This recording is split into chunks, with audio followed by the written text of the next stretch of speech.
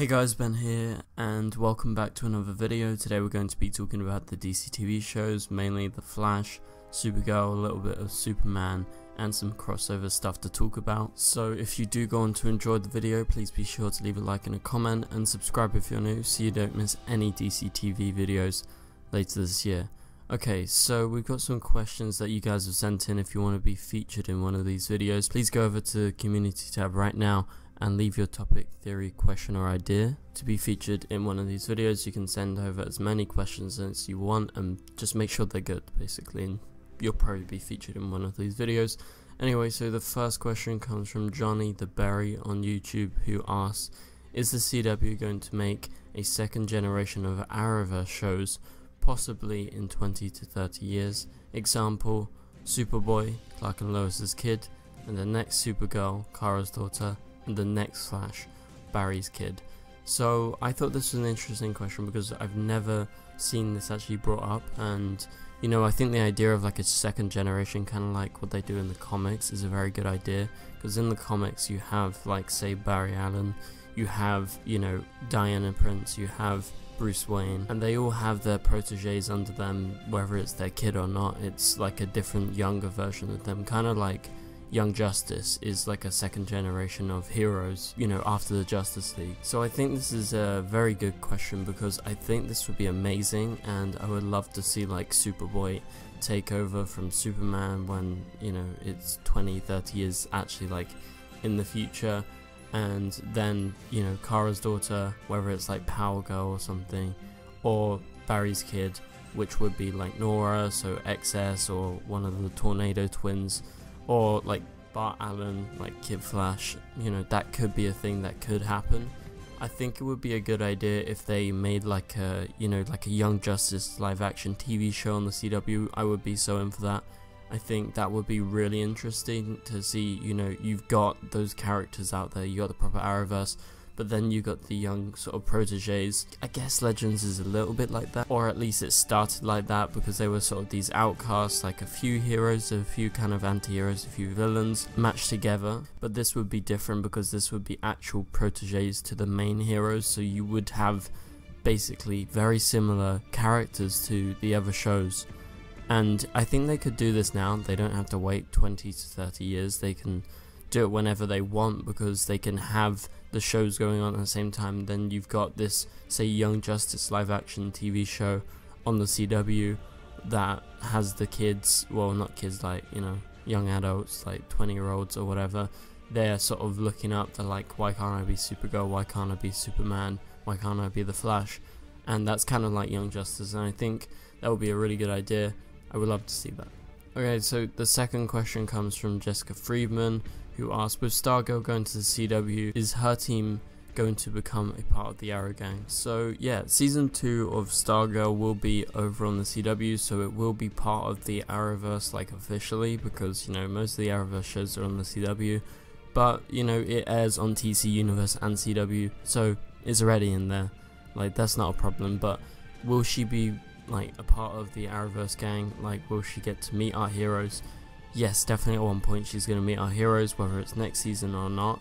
They are definitely planning on crossing Stargirl over with the other shows, and I have no doubt that she will be part of the Arrowverse crossover, whatever the next one is. And you know, I think that will be really good because I think she fits in.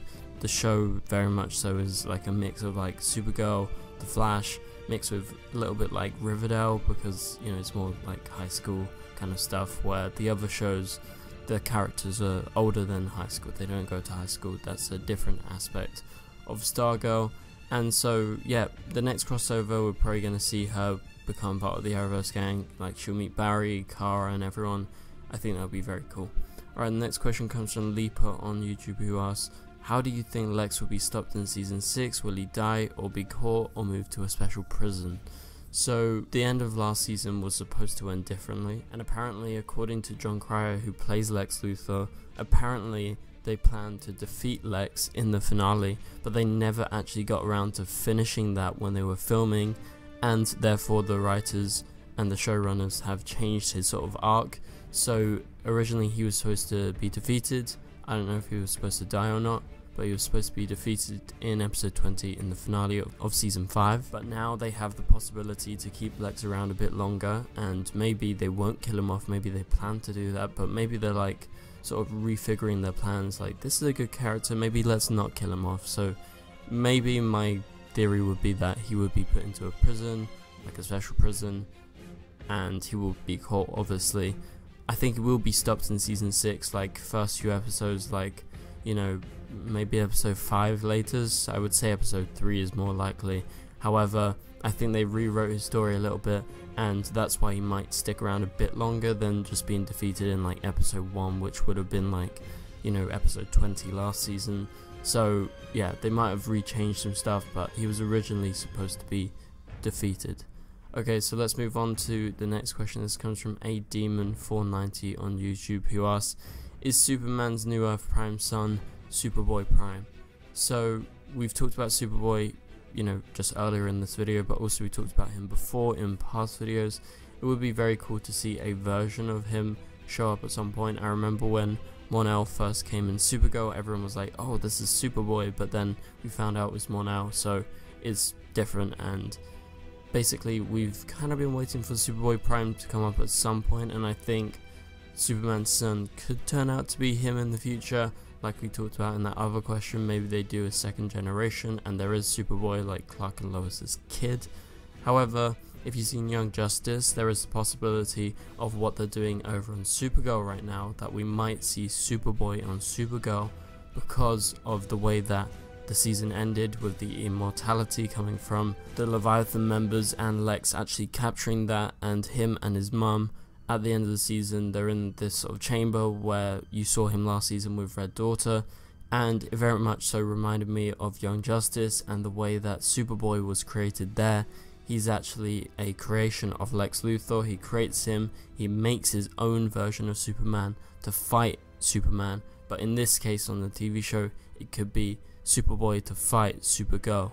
I think that would be a really fitting match and I would love to see that and especially in this next season I think that would be really good like Superboy versus Supergirl. So I think that aspect is probably a bit more likely. However I think Superman's new Earth Prime son could become Superboy at some point but not at this very moment because you know he'll probably have to come back from the future or something and be old enough. Like this is just a kid we're talking about like a baby so he's not going to be able to do any sort of special powers or anything because he's literally just like just born. Alright, so let's move on to the final question of the video. This is from Tyrone Flame on YouTube who asks, Is it true that Batwoman Season 2 will cross over with Black Lightning Season 4? So I don't know where you heard this from because this isn't true and I've heard nothing about this. The only crossover we've heard of is that they were planning to do a Batwoman crossover in season 2 with Superman and Lois in their season 1. So we're not sure if that is happening right now due to the changes with Batwoman and I don't know if they want, you know, the new Batwoman sort of leading that because, you know, she is in fact new. Maybe people will have to get used to the fact that it's not Ruby Rose. It's actually this new person, Javicia Leslie, playing a completely new character.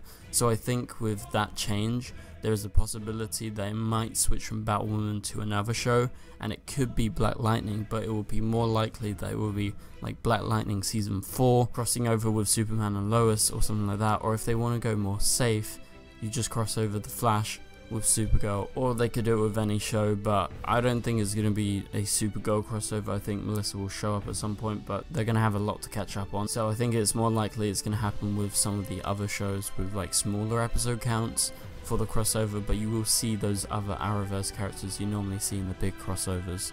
So that is about it for this video guys, thank you guys so much for watching, remember go over to the community tab right now to enter your topic theory question or idea if you want to be included in one of these videos, send as many as you want over there.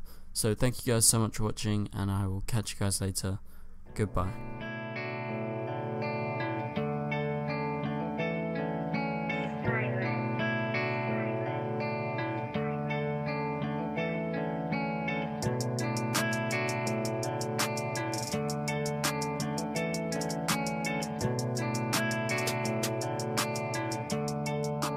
I red.